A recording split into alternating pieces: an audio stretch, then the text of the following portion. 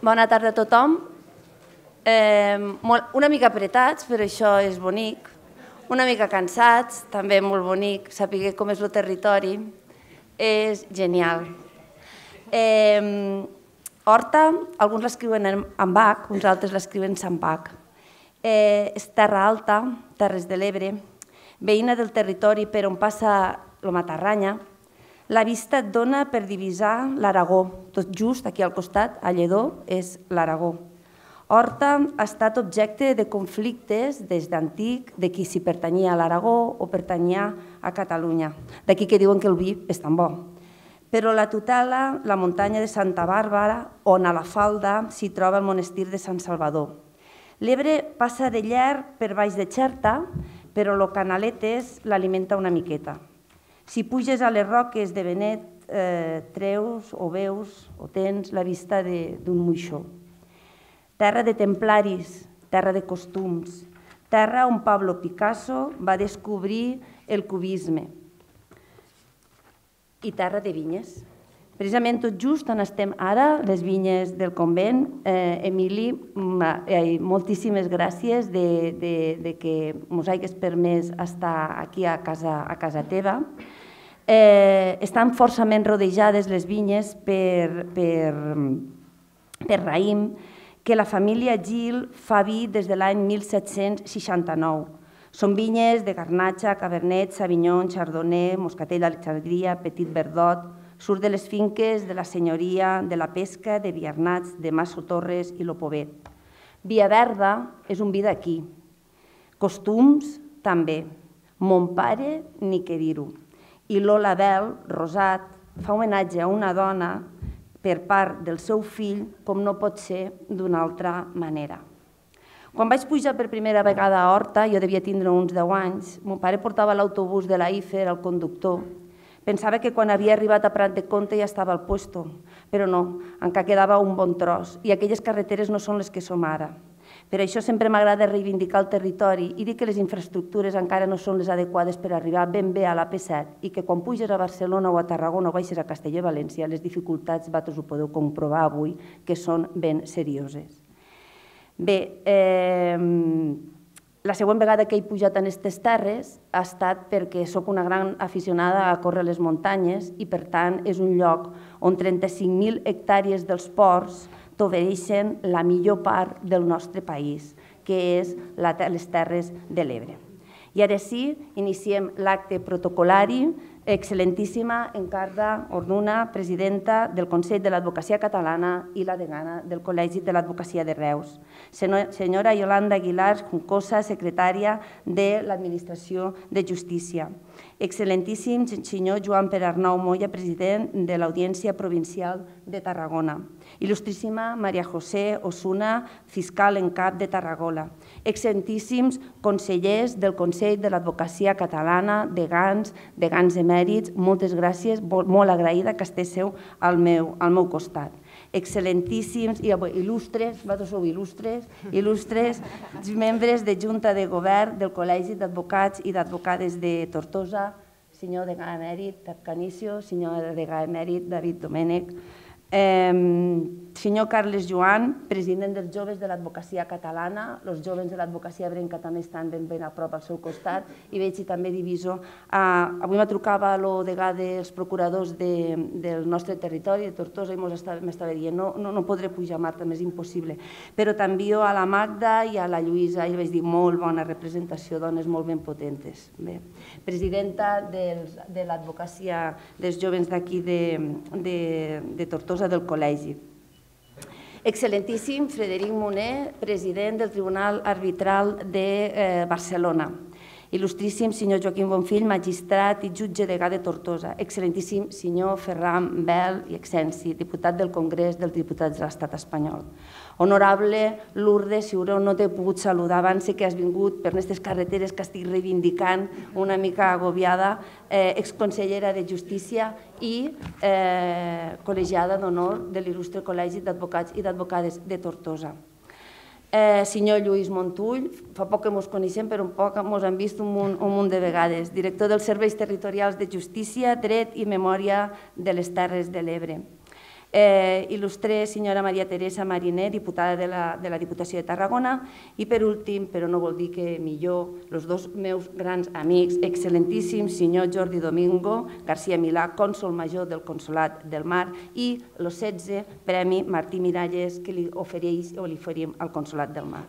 I Càndido. Senyor Càndido Jornet, medalla d'or, eh, membre del comitè assessor del Col·legi d'Advocats i Advocades de Tortosa sempre, sempre sé on, on pegar-li mà quan tinc algun tipus de, pobre, de, de problema.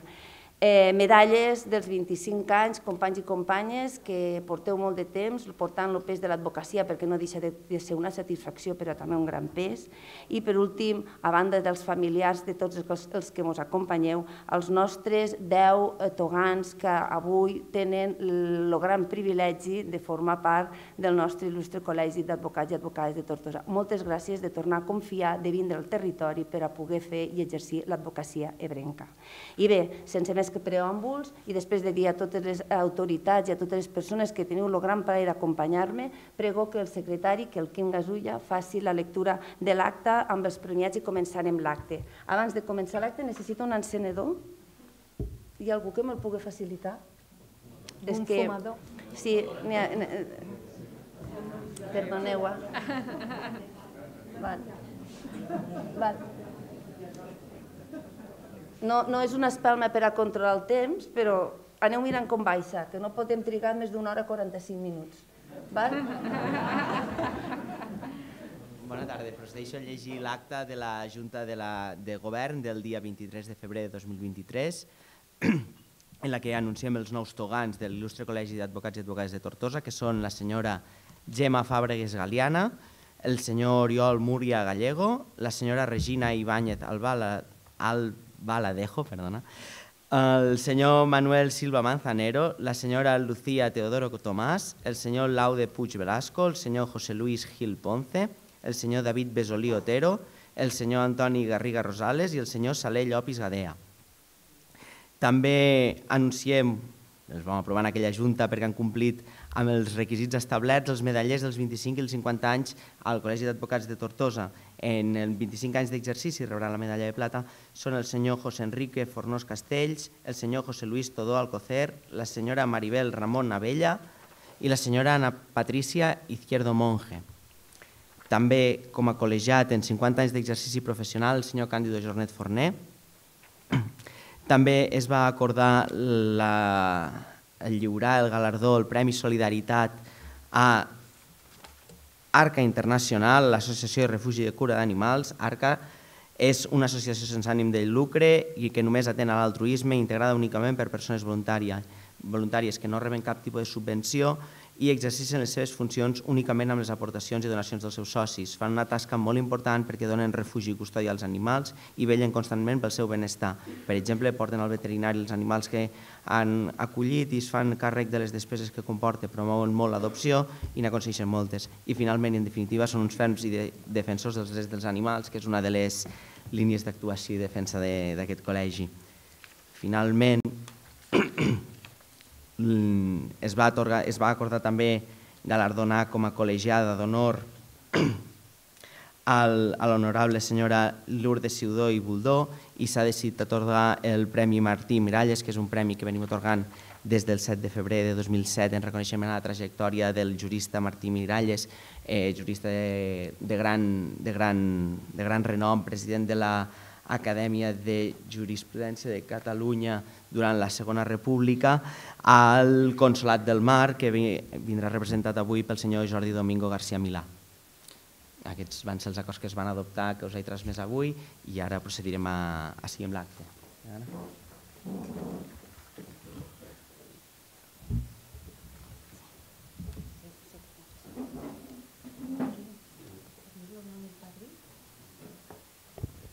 Hi ha un noi que està en aquestes carreteres, no ha pogut arribar, eh, eh, quan arribi a, a l'acte, al moment que estiguessin de l'acte, eh, pregaré que faci el jurament tan pront arribi, serà el protagonista de la tarda, però torno a reivindicar el territori en les carreteres.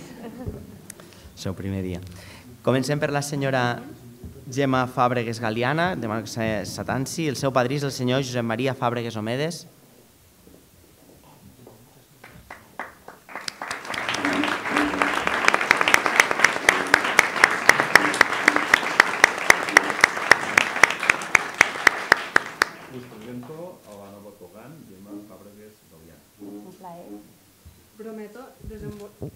Desenvolupar la professió d'abogada en dignitat, independència i honestedat, respectant sempre les normes deontològiques de l'abogacia i acatant les normes de l'ordenament jurídic vigent.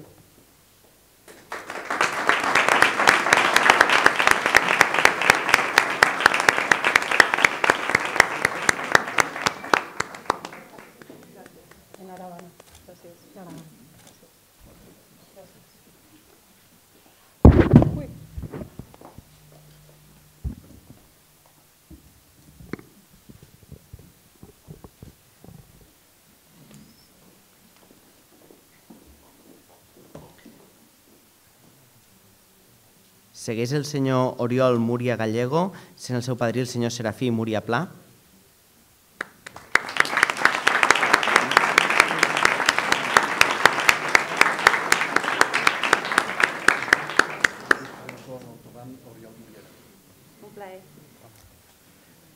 Prometo desenvolupar la meva professió d'advocat amb dignitat, independència i honestedat, respectant sempre les normes deontològiques de l'advocacia i acatant les normes de l'ordenament jurídic vigent. Molt bé.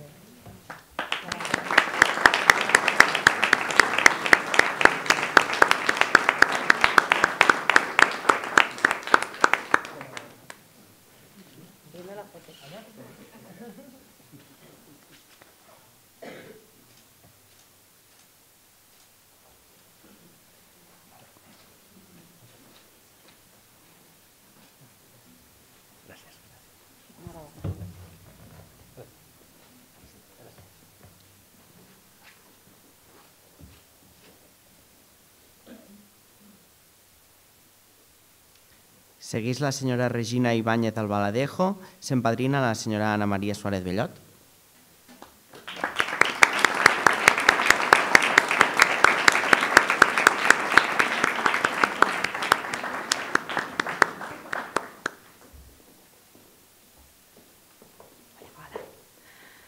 Prometo desenvolupar la meva professió d'advocada amb dignitat, independència i honestedat, respectant sempre les normes deontològiques de l'advocacia i acatant les normes de l'ordenament jurídic vigent. Molt bé, felicitats.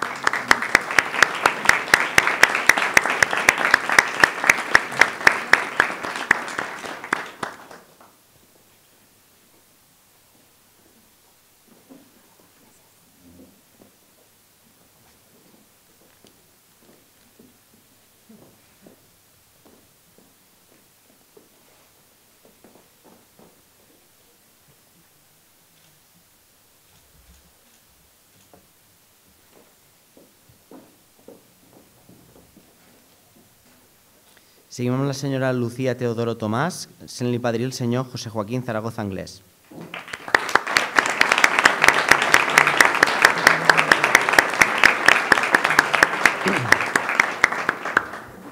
Prometo desenvolupar la meva professió d'advocada amb dignitat, independència i honestedat, respectant sempre les normes deontològiques de l'advocacia i acatant les normes de l'ordenament jurídic vigent.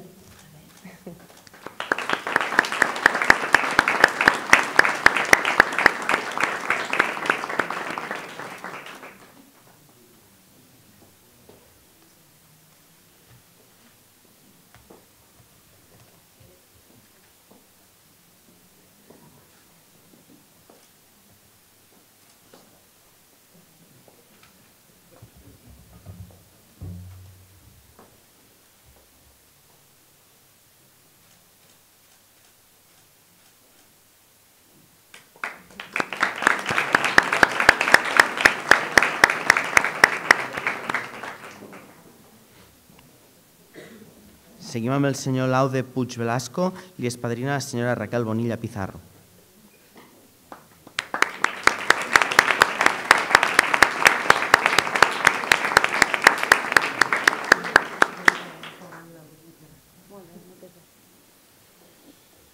Prometo desenvolupar la meva professió d'advocat amb dignitat, independència i honestedat, respectant sempre les normes deontològiques de l'advocacia i acatant les normes, les normes de l'ordenament jurídic vigent.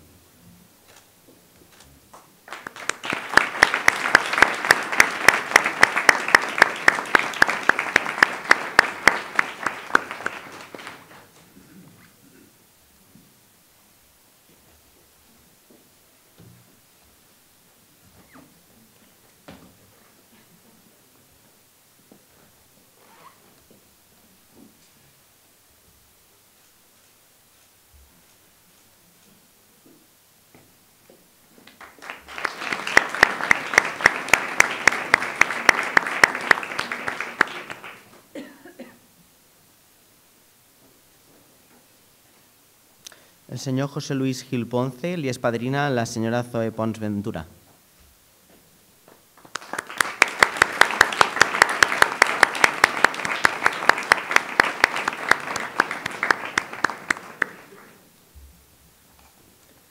Prometo desenvolupar la meva professió d'advocat amb dignitat, independència i honestedat, respectant sempre les normes deontològiques de l'advocacia i acatant les normes de l'ordenament jurídic vigent.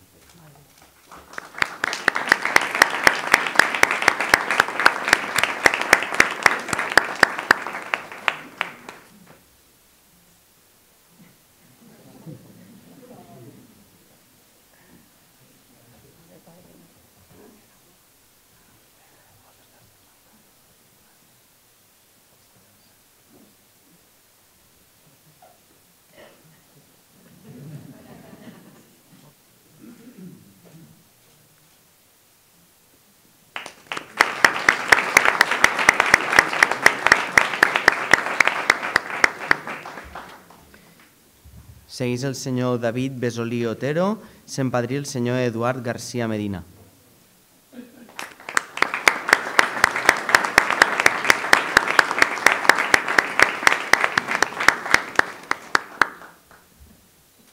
Prometo desenvolupar la meva professió d'advocat amb dignitat, independència i honestedat, respectant sempre les normes deontològiques de l'advocacia i acatar les normes de l'ordenament jurídic vigent.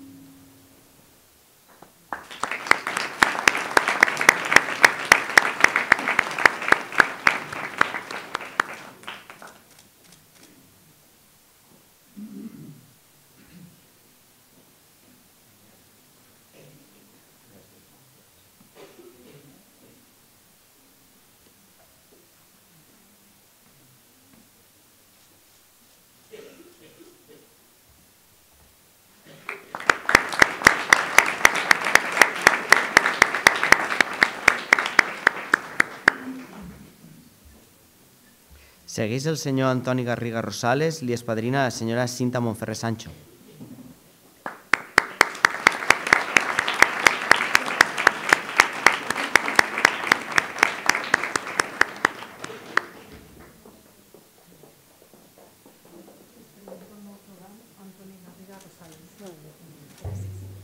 Prometo desenvolupar la meva professió d'advocat amb dignitat, independència i honestedat, respectant sempre les normes deontològiques de l'advocacia i acatant les normes de l'ordenament jurídic vigent.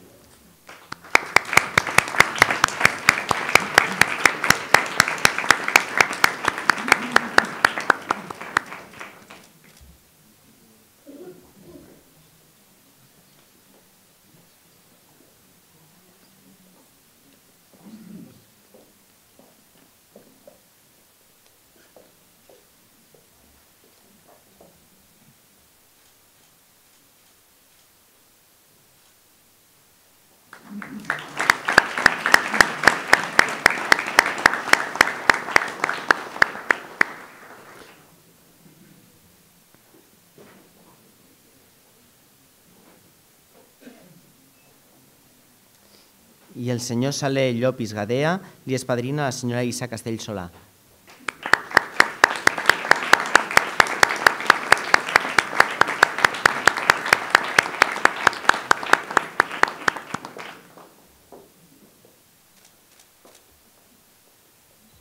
Prometo desenvolupar la meva professió d'advocat amb dignitat, independència i honestitat, respectant sempre les normes deontològiques de l'advocacia i acatant les normes de l'ordenament jurídic vigent.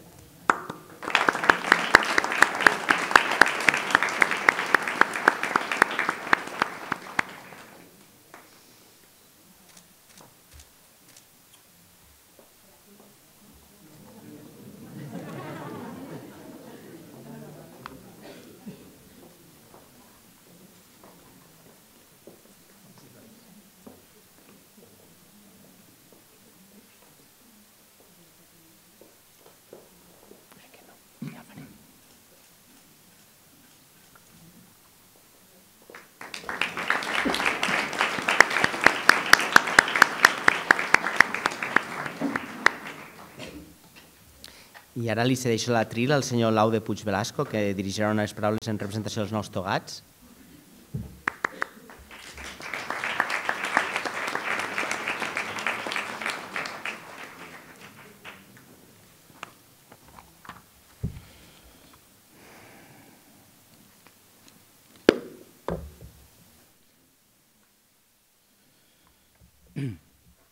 Benvolguda de Gana, de Gans dels col·legis professionals aquí presents, membres de la taula i junta del col·legi, representant de les diverses institucions judicials i polítiques, companyes i companys de professió. Inicialment, si em permeteu, voldria tenir unes paraules d'agraïment cap a les meues companyes i companys de promoció per confiar-me l'honor de representar-los en aquest acte. I en nom d'ells, agrair-vos a tots el caliu i acollida que en aquest, en aquest acte d'investidura. Crec que puc afirmar, sense temor a equivocar-me, que els aquí presents tenim en comú, entre altres aspectes, una clara apetència personal cap al dret i una clara passió per la justícia, per formar part d'ella d'una manera activa i constant, clara i decidida, amb la finalitat de perseguir i defensar allò que de manera legal i moral considerem com a just. De fet, si ens fixem en una de les diverses definicions que d'ella recull la Reial Acadèmia Espanyola, la justícia és el principi moral que ens du a determinar que tots hem de viure en honestedat. Sense dubte, un gran objectiu per a una professió que partís d'un jurament presidit pels atributs de dignitat, independència i honestedat. Però per als que hem conegut i hem viscut la justícia també des de la vessant de la persona jutjada, us puc assegurar que la percepció és una altra. Allò que hem viscut és confusió, foscor, desorientació, davant d'unes normes que no entenem ni comprenem per la seva extracció i generalitat. Hem sentit duresa i gelor davant de la durada dels procediments i la incomprensió del seu funcionament i una autèntica muntanya russa d'emocions davant la sentència en funció del seu color o bé dels errors o omissions que s'hagin produït al llarg de tot el procediment. Perdoneu, eh? Coses del director. A més a més, en molts casos, aquestes situacions s'engreugen quan la sentència la segueix un buit, un desajust o un rejust de, de l'adversa i s'acaba obrint un nou via crucis en forma d'un procediment executiu, tant com fos o més que el procediment inicial. Tot plegat, i vist des de fora de les institucions i del món judicial, acaba generant en molts casos una sensació de pànic. És una base a tot això exposat que avui, no sols com a nou professional, sinó que també com a persona llargament jutjada, M'agradaria, si em permetreu, traslladar-vos la següent reflexió. Les societats i els individus que les integren canvien i evolucionen. I els conflictes i greuges també. Com nosaltres. Les i els nous togats percebrem el nostre ofici d'aquí uns anys, però malgrat tot allò que en el meu humil parer mai hauríem d'oblidar ni perdre és, per una part, la paciència, com la que tenen els bons docents amb els seus alumnes per tal d'ajudar a entendre en poc temps els clients actuals i futurs allò que com a professionals ens ha costat anys aprendre. Òbviament em refereixo a les lleis i els drets i la vessant pedagògica que va inherent a les nostres professions. Rigorositat, meticulositat, dedicació i autoexigència. En el desenvolupament de la nostra tasca professional, i és que no podem ometre que qualsevol error que es pugui produir, tant per nosaltres com per l'administració, poden comportar greuges importants cap als nostres clients, que en segons quins casos poden durar anys.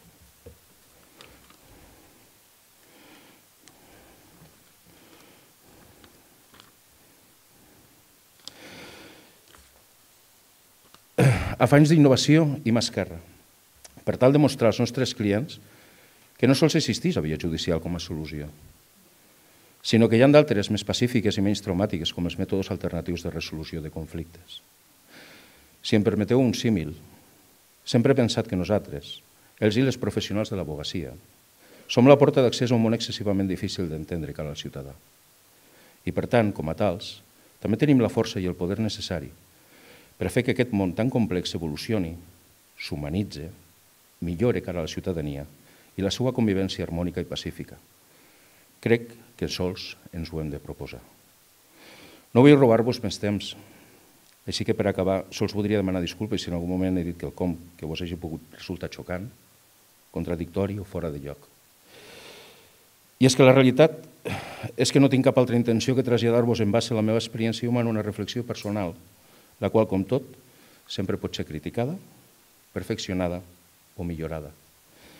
Gràcies a totes i tots pel vostre temps i la vostra atenció.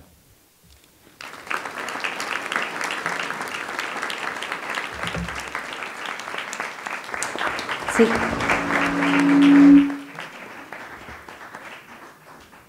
Sí, gràcies, Laude. Mm, I a tots vosaltres. Eh, L'advocacia el que vos demana també és respecte, has dit totes les paraules, però també respecte envers els teus companys. Il·lusió que passa més enllà de l'aprenentatge. Lluita que no és altra que la defensa dels drets humans i sobretot el que sempre vos dic i que el que vos vaig dir a l'última reunió, defensa de la nostra llengua, la catalana. I per últim, la cultura de la pau. M'agraden les atencions que hagués tingut perquè hi ha qui diu a la nostra junta, com l'Anna, que és la que porta el centre de mediació del nostre col·legi, que eh, la via judicial tindria que ser l'última alternativa per a poder solucionar el conflicte i molta gent s'estalviaria molts de patiments.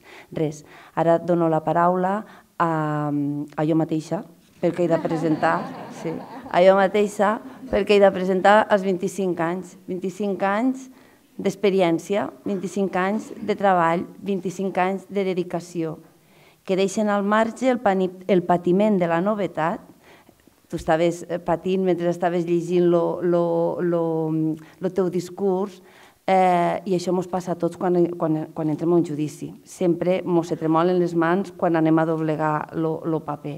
Pues, bueno, això passa, al cap dels temps dels 25 anys, este, este tremolor ja no el tenen. No?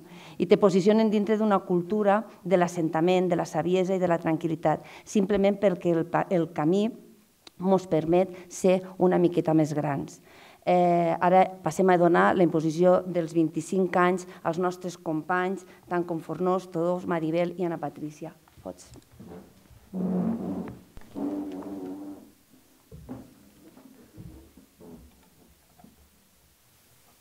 Com dèiem abans, els guardonats amb la medalla d'argent pels 25 anys d'exercici a l'il·lustre Col·legi d'Advocats de Tortosa són el senyor José Enrique Fornós Castells, qui li lliurarà la, la medalla el president de l'Audiència Provincial de Tarragona, l'excel·lentíssim senyor Joan Pernau i Moya. Senyor Fornós.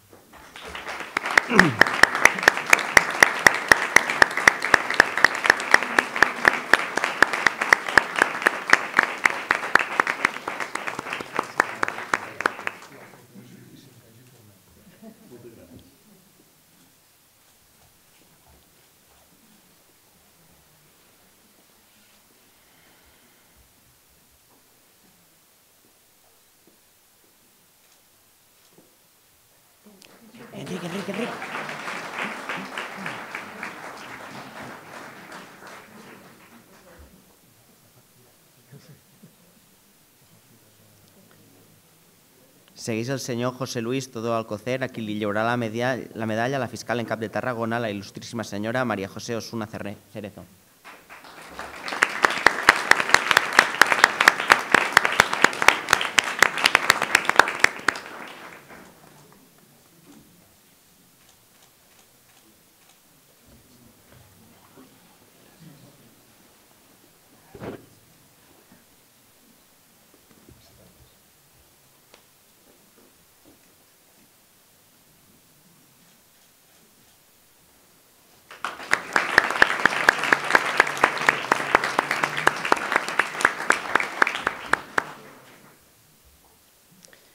Senyora Maribel Ramon Abella li lliure la medalla a la presidenta del SICAC, l'excel·lentíssima senyora Encarnació Orduna Pardo.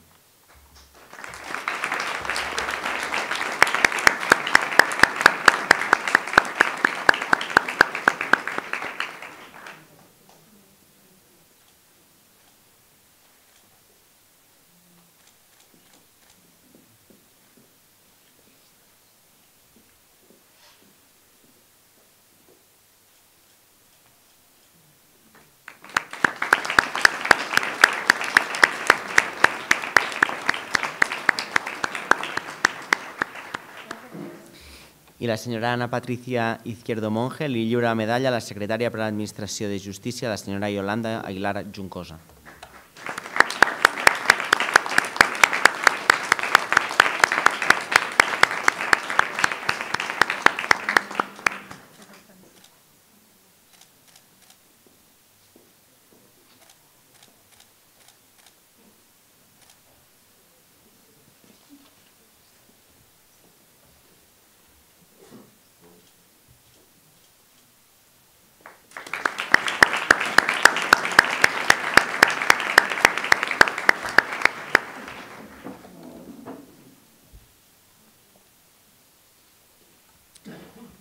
La tril a la senyora Maribel Ramon Abella, qui farà un parlament en nom dels companys premiats.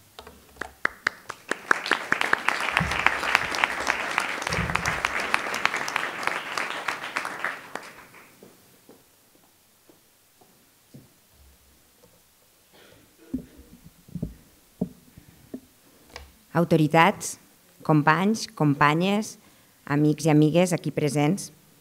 Bona tarda a tothom. En primer lloc, vull donar les gràcies a la Junta del Col·legi d'Advocats i Advocades de Tortosa i en especial a Marta Martínez, la nostra degana, per haver-me donat l'oportunitat de poder dirigir-vos aquestes paraules. Penso que parlo per veu dels companys amb els que compartixo avui aquest reconeixement – i estic segura que qualsevol d'ells hagués estat un magnífic representant dels qui portem 25 anys en la professió, que no és poc. Arribats en aquest punt, puc dir que una etapa molt important del nostre camí professional ja s'ha complert. I el que ens queda? Hem de seguir l'exemple del nostre company Càndido Jornet. Ja pel 50. Càndido, aprofito ara que tinc l'oportunitat de dir-te-ho públicament, felicitats. No sols pels teus 50 anys de dedicació a l'advocacia, sinó per fer-ho amb tanta professionalitat. Persones com tu dignifiquen la nostra professió, moltes vegades posada en entredit per aquella mala fama que algunes professions com la nostra arrastren històricament. Enhorabona, Càndido. Ets un exemple per a tots els que et venim darrere. Recordo aquell dia de fa 25 anys, imposició de toga al claustre de l'edifici antic dels jutjats de Tortosa. En aquell moment havia escollit la meva trajectòria professional. Entre totes les sortides que ens ofereix el dret, vaig decidir que volia ser advocada. Recordo una anècdota dels meus inicis. Recent col·legiada, jo estava fent pràctiques al despatx d'un company. Vaig rebre el saluda de Magda Sancho, que la tenim per aquí, S'acabava de col·legiar com a procuradora i vaig decidir trucar-la, per allò de que les dos començàvem. 25 anys després seguim treballant juntes, hem crescut professionalment juntes i hem forjat una bonica amistat. Hem compartit juntes molts procediments, però també molts moments de somriures, sortides, dinars, festes, amb Magda i amb altres companys i companyes que et vas trobant al llarg del nostre camí professional – perquè la nostra professió també és complicitat, companyerisme i moments com els d'avui, de reconeixements, de retrobaments, de festa. Deixeu-me fer un parèntesi per recordar molt especialment a una companya amb la que també vaig compartir procediments, sortides i somriures, i que malauradament ens ha deixat. Anna Regolf, on estigues, que sàpigues que sempre estaràs al nostre record.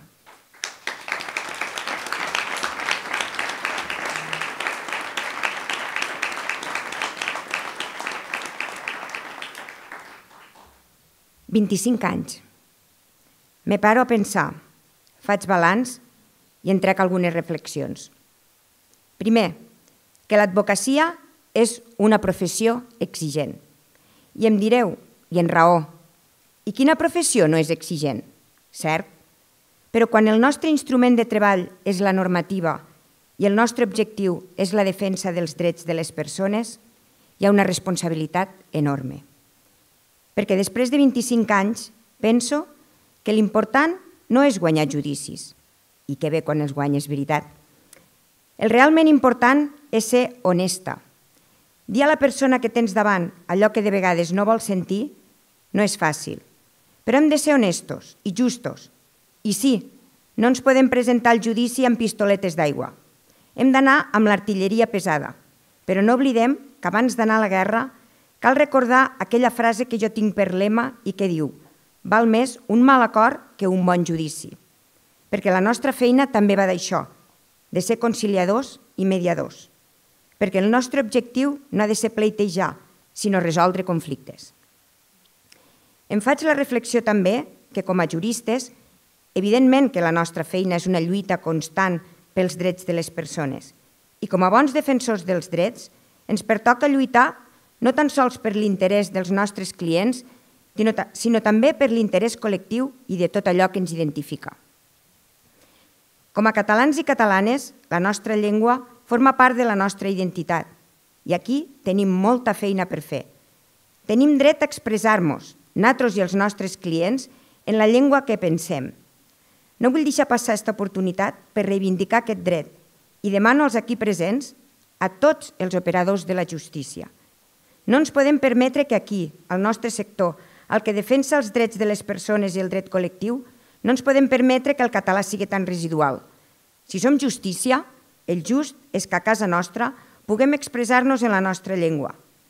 Evidentment que des de les institucions s'han de prendre les decisions, però no oblidem que és responsabilitat també de cadascú de nosaltres posar la nostra llengua al lloc que es mereix, perquè és l'instrument que vehiculem les nostres pretensions i perquè és un signe identitari del nostre territori.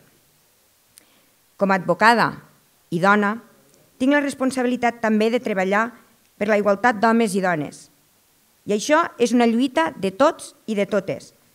Puc dir que en aquests 25 anys mai m'he sentit menys tinguda en la meva feina pel fet de ser dona.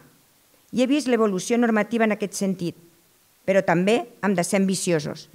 La presència femenina als càrrecs de representació és necessària per donar-li al nostre sector una visió en perspectiva de gènere. En aquest sentit, em sento orgullosa de tenir una degana al nostre col·legi. Marta és un exemple d'entrega, de lluita, de reivindicació i de dedicació, una persona propera per a tots els col·legiats, conciliadora i persistent en allò que defensa, sempre en constant lluita per a que mos féssim escoltar. Persones com la nostra degana i el seu equip han lluitat per a que l'advocacia ebrenca tingui el seu lloc. Perquè sí, som un territori d'oportunitats. Som els d'aquí baix, els que parlem diferent i moltes vegades som territori oblidat. Per això, des del nostre sector, també hem de reivindicar país i territori. Com a canareva que sóc, orgullosa em sento de formar part de l'advocacia ebrenca i portar la nostra identitat arreu de l'Estat. No hem d'oblidar mai d'on venim, i clar que sí, podem treure pit de ser d'on som i de, i de representar un territori, el nostre, el de les Terres de l'Ebre. I ja per acabar, perquè com avui no tinc ningú que em digui lletrada, sigui breu, me n'estic aprofitant, ja per acabar, agrair moltíssim aquest reconeixement. Encoratjar el nostre col·legi per seguir organitzant aquest acte que a banda d'institucional té també un important paper cohesionador. Dir-vos que em sento orgullosa de ser dona, catalana, ebrenca i advocada i continuaré lluitant des del meu lloc per dignificar i empoderar el meu gènere, la meva llengua, el meu territori i la meva professió. Moltes gràcies.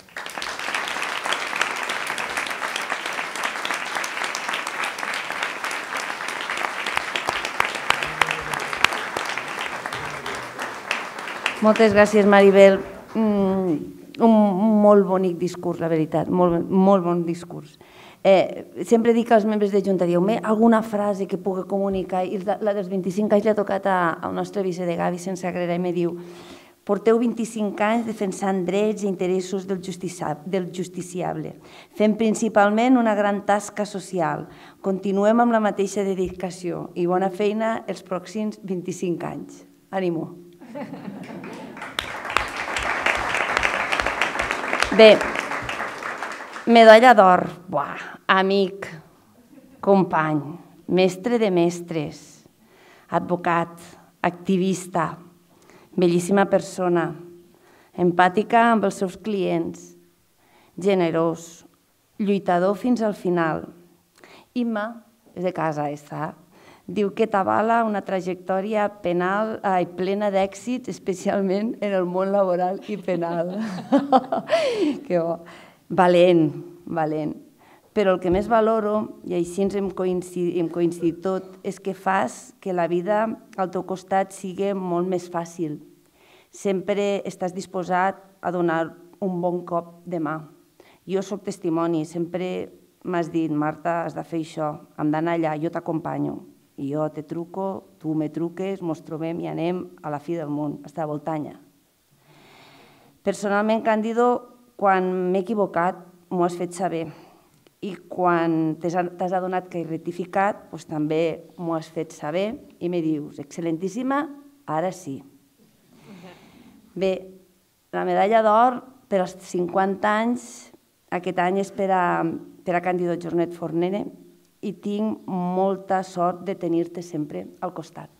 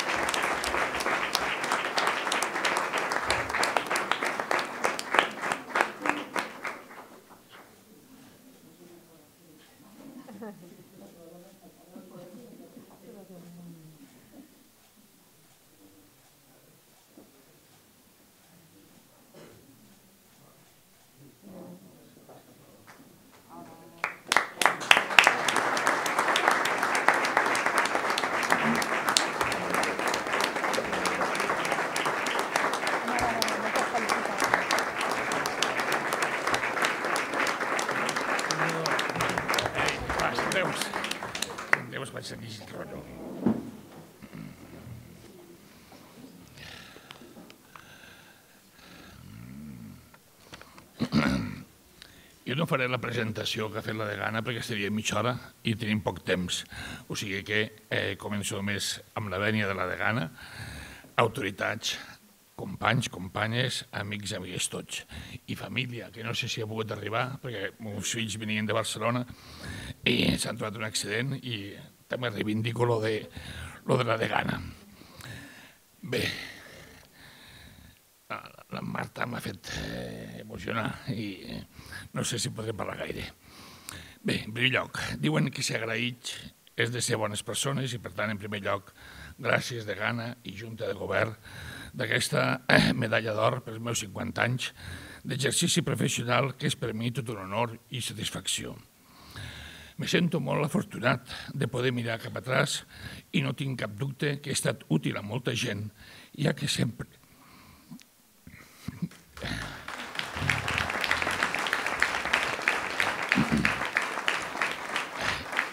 ja que sempre he intentat fer bé.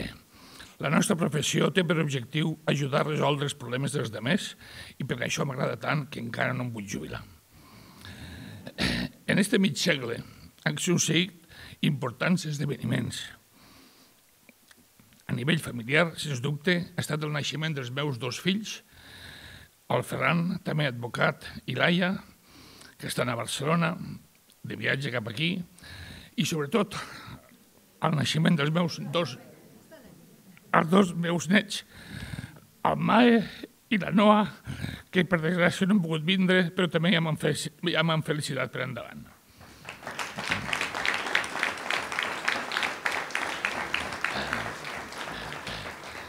Vull tindre un record especial per als meus pares, Càndido, també advocat, i Maria Lluïsa, que van posar una bona llavor de juristes i que dels vuit germans que som, quatre i mig som advocats. Dic mig perquè un que és arquitecte ara s'ha enxufat també a estudiar dret. En aquells 50 anys d'exercici he estat quasi la meitat del temps membre de la Junta de Govern, responsable de la Comissió de Formació que a nivell de Catalunya estava presidida pel degà emèrit de Girona, en Carles McGrath, a qui vull felicitar per la seva gran tasca que va fer llavors i continua fent ara, i tinc un gran record de les jornades de treball que vam fer a Olot i a Delta de l'Ebre, intentant aconseguir lo de l'especialització de la nostra professió, que tot just ara, en el Congreso de l'Abogacia, és una de les ponències que la magistrada Emília Casas precedeix i que al Congrés este encoratjo a tots per a que hi participen. Eh, un altre esdeveniment que també voldria ressaltar és la creació d'una associació de juristes de les Terres de l'Ebre per les Llibertats, associació sense afany de lucre creada al mes d'abril del 18, per un grup d'una cinquantena de juristes d'aquest territori per a la defensa dels drets fonamentals i llibertats públiques de la gent del nostre territori, de la que és el president, la Isa Castell, que, a més, ha estat nomenada presidenta de la Coordinadora d'Advocats de tot Catalunya. La nostra associació de juristes portem la defensa de forma totalment gratuïta de les persones que han vist vulnerades els seus drets fonamentals d'expressió, reunió o manifestació. Per acabar, només vull encoratjar els nous togats i togades per a que lluiten sempre en defensa dels seus clients, respectant, això sí, les normes deontològiques de la nostra professió. Moltes gràcies.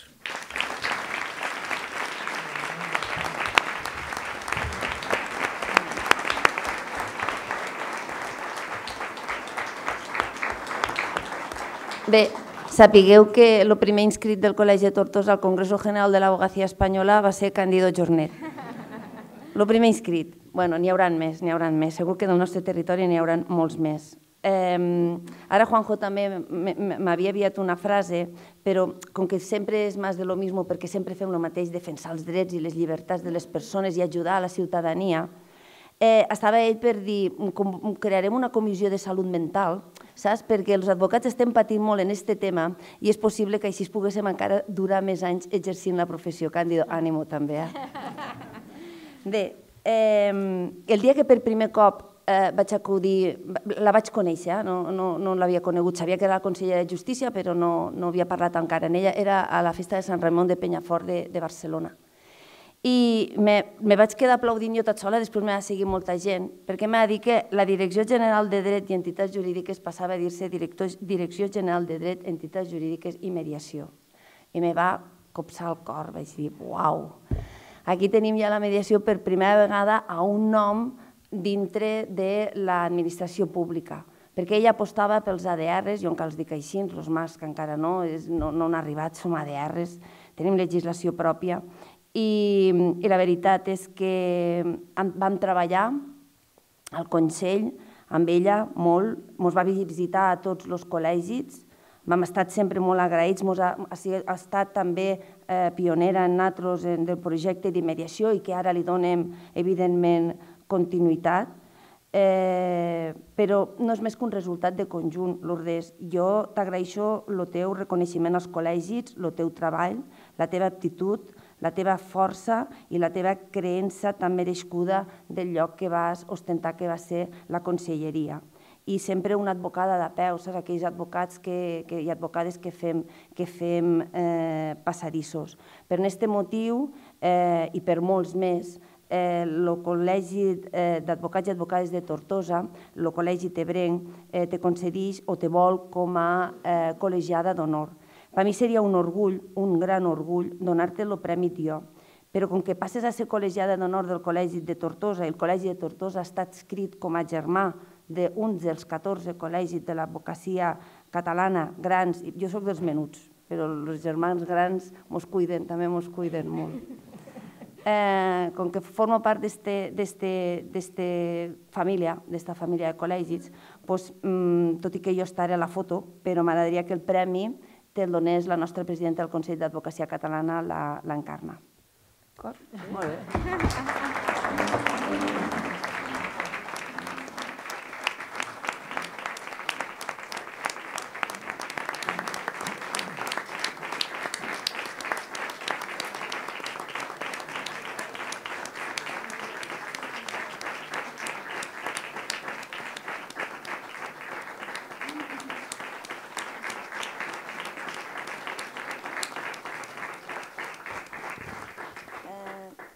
col·legiada, col·legiada d'honor de l'il·lustre Col·legi d'Advocats i Advocades de Tortosa, honorable senyora Lourdes Ciuró Buldó, en reconeixement de la trajectòria com a consellera de Justícia de la Generalitat de Catalunya i de l'afecte que has mostrat sempre pel nostre col·legi i les persones que l'integren. En sessió de la Junta de Govern del passat 1 de febrer s'acorda per unanimitat nomenar-te nomenar col·legiada d'honor de la nostra corporació. Tortosa, març del 2023.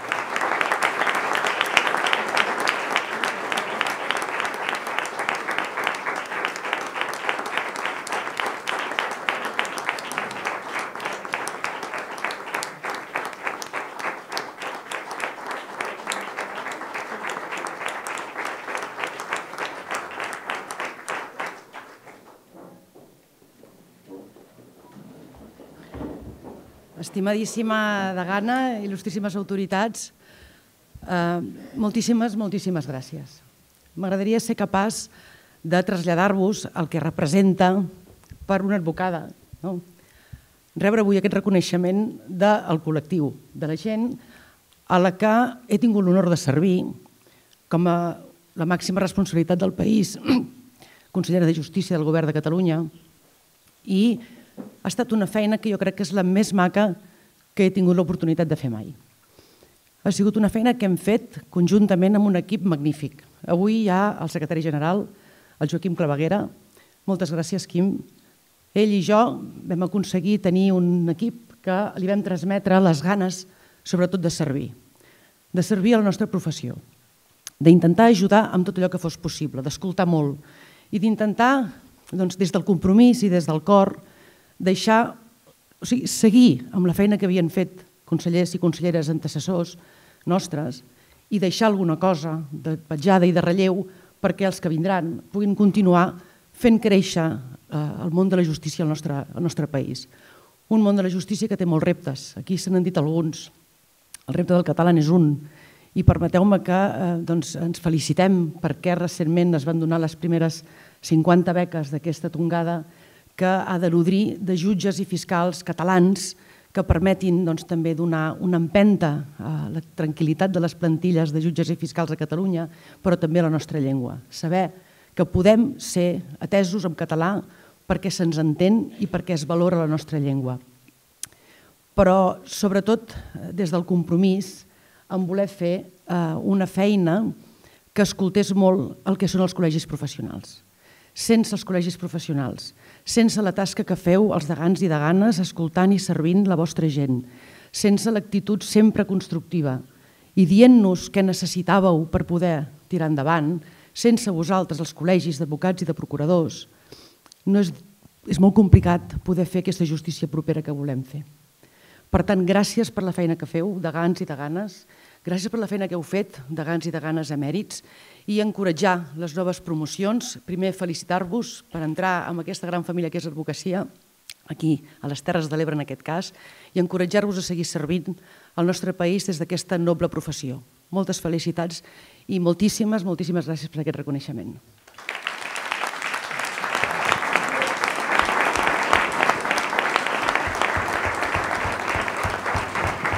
Moltes, moltes gràcies, col·legiada Brenca, moltes gràcies per les teves paraules. Bé, eh, senyor Perarnau, és el seu torn de paraula.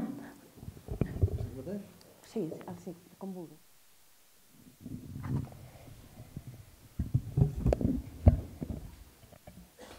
Bé, bona tarda.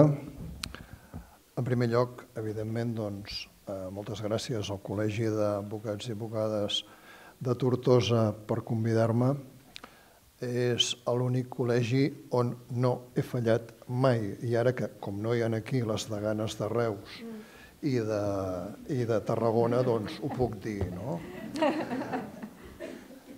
La veritat és que em sento com a casa, eh, em sento molt ben tractat, a més em tracteu d'excel·lentíssim, quan sóc il·lustríssim. De moment, és dir, que davant, davant, sempre aneu un pas endavant, per tant, cosa que us, agrec, que us agraeixo moltíssim. No?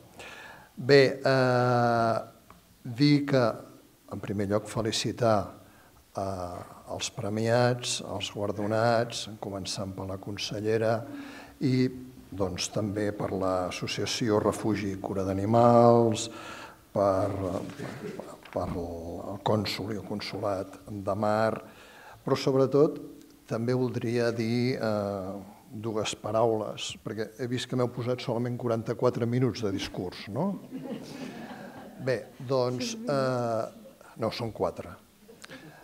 Doncs sí que voldria dir, en primer lloc, eh, felicitar i sobretot admirar a Càndido.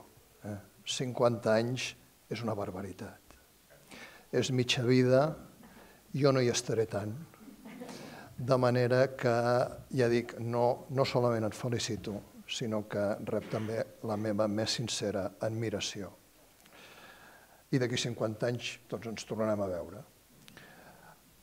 Pels que fan 25 anys com bé ha dit la, la Maribel, déu nhi eh? som, també, som també molts. Bregar cada dia amb aquesta professió difícil, però absolutament imprescindible, absolutament necessària per la societat, doncs tots som conscients de que és difícil. Amb els nous togats, felicitats per entrar en aquest món, entreu amb il·lusió. Jo sí que us diré que escriviu poc, feu sobretot per nosaltres, però escriviu clar. Eh? És a dir, crec que s'ha d'escriure poc, però escriure clar. I si podeu, sí, feu en català. Eh? Sereu molt ben rebuts en aquesta llengua, no tingueu cap mena d'arrencança amb la seva utilització davant de cap jutjat ni davant de cap tribunal, teniu tot el dret i per tant us agrairem. De les paraules que ha dit la Maribel jo les comparteixo totes, menys una, que era el d'oblidats. No, eh, Terres de l'Ebre, eh, Tortosa, Col·legi de Tortosa i la judicatura i l'organització judicial a Tortosa no és una oblidada, afortunadament no és una oblidada. I estem molt atents i tenim molt interès, perquè per nosaltres és la nostra joia de la corona. Eh, davant dels problemes que tenim al Camp de Tarragona, davant dels problemes que, que tenim doncs, en altres eh, partits judicials, des del Vendrell passant per Valls, Reus, eh, Tarragona ciutat. Doncs bé, arribar a, a Terres de l'Ebre doncs, per nosaltres ens produeix una immensa, una immensa satisfacció. Uh, avui em deien, avui he rebut la comunicació que arribava a Amposta 4 una nova, una nova jutgessa, ve d'Ubrique. No sé si és que s'ha equivocat quan ha tirat la instància, eh? perquè clar, normalment, eh, normalment fem acomiadaments, no? eh, recepcions en fem poquíssimes. Bé, realment eh, els òrgans de govern del, del Poder Judicial a Catalunya tenim greus problemes de cobertura de places, sou conscients, Amposta ha estat molt temps sense ni un jutge titular, avui dia ja en tenim, de manera que, bé, cobrim el que podem i com podem, però tot i així els resultats no són dolents, poden ser millors, sens dubte, però no són dolents. No? Eh, I seguim tenim increment de feina. No? Jo ara m'estava mirant la, les estadístiques, doncs Tortosa, i en general a tot arreu se'ns està se'ns ha incrementat durant l'any 2022 moltíssim la feina de civil, mentre se'ns manté o inclús retrocedeix la feina de penal. Tortosa se'ns ha incrementat un 24% civil, un 6% penal, amb un temps de resposta de 4 mesos i mig en civil i de 2 mesos en penal, de mitjana. Amposta un 18% més de civil, menys 1% de penal, un temps de resposta de 8 mesos, sens dubte produït també per la interinitat i pel canvis continus que, que patim, i 3 mesos de temps de resposta en penal. I Gandesa, que també existeix, que també es preocupa, doncs 18% d'increment en civil, un 17% de penal, un temps de resposta de 7 mesos en civil i de 2 mesos en penal. Bé, no, no utilitzaré els 44 minuts, eh? dono per finalitzat la meva intervenció, agraïus a, a, que m'hagueu convidat, espero ser-hi també l'any que ve per seguir complint el, amb l'obligació i el rècord que tinc eh, amb el Col·legi de Tortosa. Moltes gràcies i moltes felicitats a tots.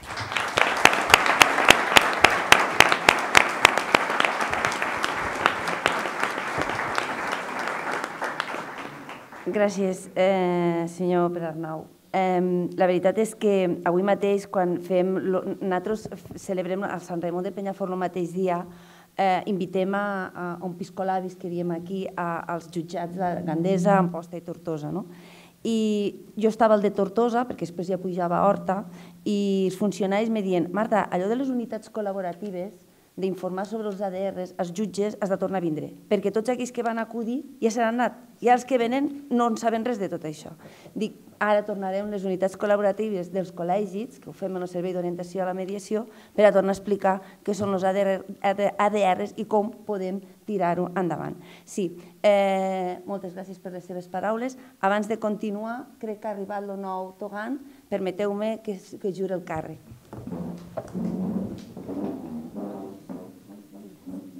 Aquí? Ai, mare. A veure si podeu tot aixecar i no... Sí. sí. Manuel Silva, està? Sí. Sí. Ho dius, Quim? Quim?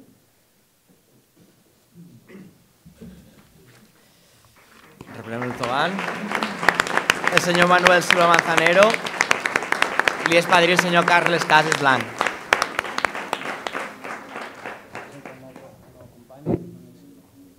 No, no, no he tingut abans de Aquí és el càrrec. Eh, has tingut un bon viatge?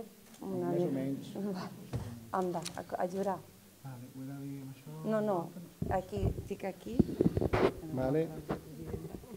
Prometo desenvolupar la meva professió d'advocat amb dignitat, independència, honestitat, respectant sempre les normes deontològiques de l'advocacia i acatant les normes de l'ordenament jurídic vigent.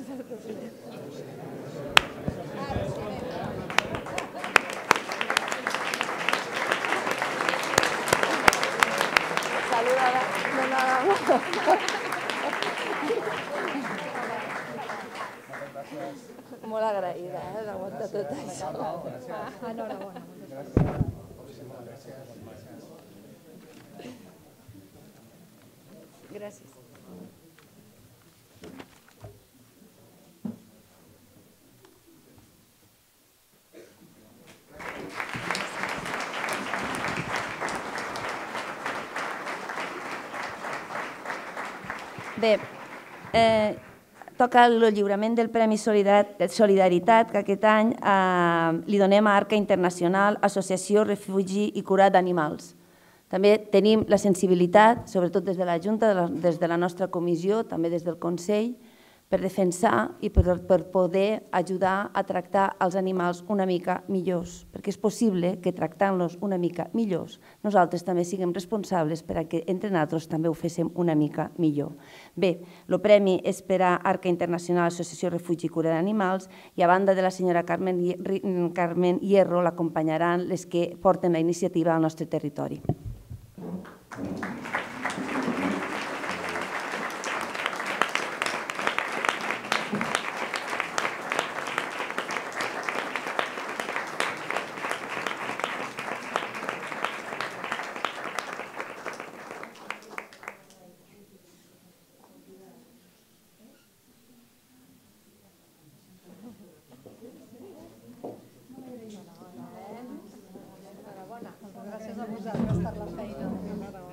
sí,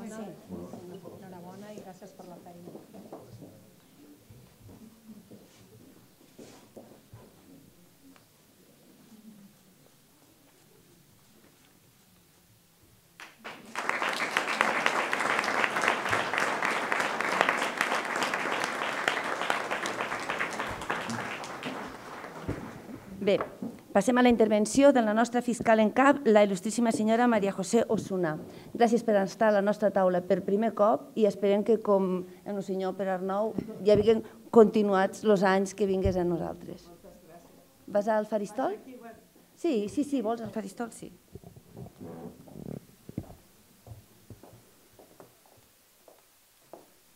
Bona tarda a tothom. Per mi és un honor estar aquí per primera vegada com a fiscal en cap de la Fiscalia Provincial de Tarragona.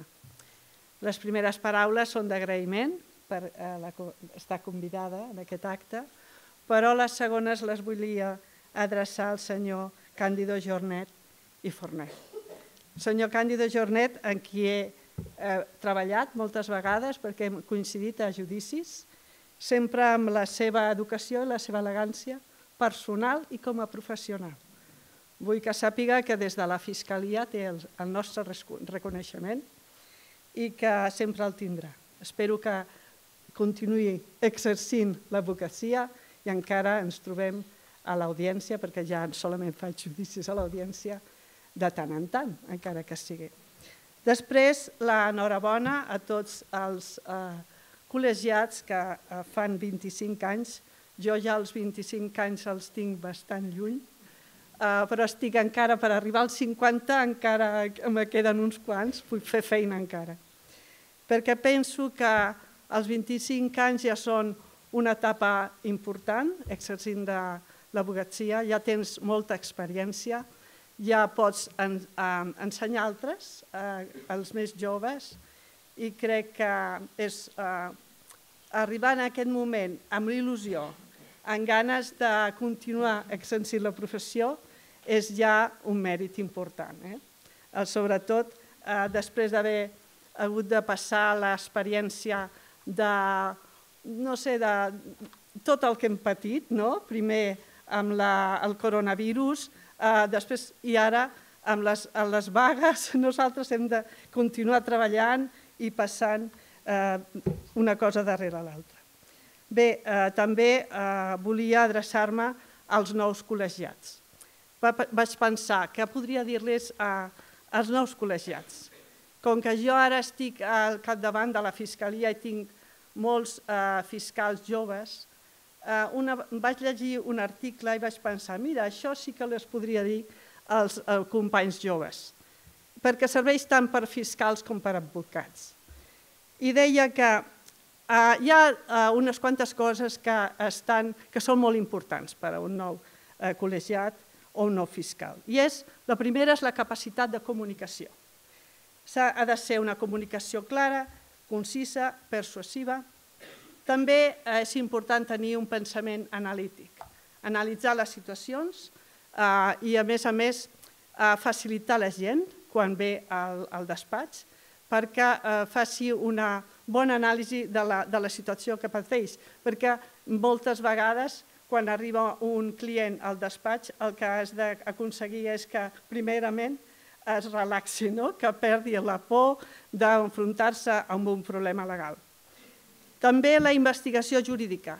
Hem de buscar la norma aplicable al cas concret i, sobretot, les habilitats de negociació, perquè eh, és millor, com, com deia la degana, i com deia també la col·legiada que abans ha donat el discurs, és millor una negociació, una bona negociació, que arribar a un judici que mai saps com pot acabar, ni pel fiscal ni per l'advocat. També la capacitat de redacció, l'adaptabilitat, sobretot la conducta ètica, és molt important, el treball en equip, perquè eh, és també buscar una solució en equip de vegades és difícil, però si tens aquesta capacitat de negociació, d'anàlisi, etc., la solució en equip sempre és una solució més forta i, se i sempre més persistent. També la intel·ligència emocional i, i, i l'última és la resolució creativa dels problemes. Doncs espero que tots els nous col·legiats tinguin aquestes qualitats per afrontar-se a aquesta etapa que comença avui. D'altra banda, també vull eh, felicitar també a la senyora Lourdes Ciuró i Buldó, que vaig tenir el ple de conèixer-la en un moment solament, però en aquell moment. Jo crec que hauria d'estar orgullosa, després d'haver eh, tingut aquest càrrec, que avui tingui aquest reconeixement de tothom per la seva feina, com a, com a professional i també com a ex eh, honorable no? consellera.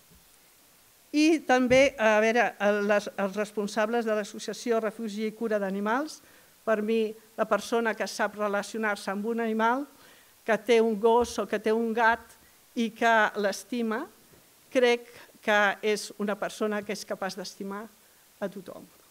Per tant, eh, és més, un indici, el maltractament animal és un indici de malaltia, que de vegades eh, es pot detectar la malaltia mental precisament per, per unes, unes conductes eh, que no responen a aquest, a aquest no sé, eh, el carinyo no? al, al, als animals. Bé, no, vull, eh, no voldria deixar-me ningú. En tot cas, eh, la meva enhorabona a tothom i agrair de nou eh, que m'hagin convidat a aquest acte tan bonic de, per als col·legiats de Tortosa. Moltes gràcies.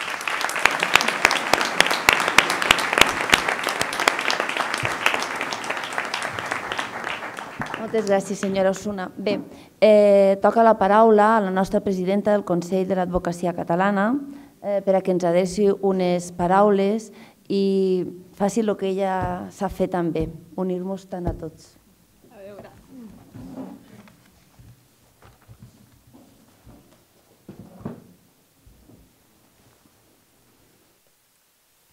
Bé, bona tarda, eh, autoritats, companys, companyes, i famílies. Moltes gràcies, amiga Marta, i al Col·legi de Tortosa per convidar-nos avui amb aquest acte solemne, però també un acte festiu. La Marta ja ho heu vist, si una paraula té a la boca, el seu vocabulari és la de territori, amb mayúscules. I mediació, no m'oblido. Lo del meu territori, o fer territori, li surt de manera natural. I no solament ho diu, sinó que ho porta a la pràctica perquè cada any, amb la festa de Sant Raimon, ens fa voltar per tot el territori de les Terres de l'Ebre. Us ben asseguro que ja porto quasi 8 anys de degana i que jo he recorregut més quilòmetres per aquestes terres que per les meves. Tot s'ha de dir que hem descobert uns paisatges i una gent meravellosa. Avui ens ha portat cap a Horta de Sant Joan. He fet els deures, els templaris van estar a Horta a principis del segle XII.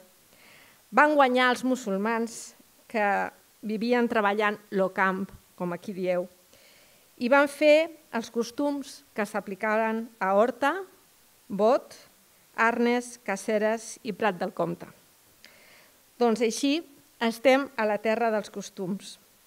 I avui els protagonistes d'aquest acte sou tots vosaltres, els que heu rebut o rebreu un reconeixement d'aquest col·legi. Em vull adreçar primer als nous togats que avui ens acompanyeu. Sou vosaltres la nova generació, el present i el futur de la nostra professió. Les advocades i advocats complim una importantíssima funció. Sense advocats no hi ha dret de defensa.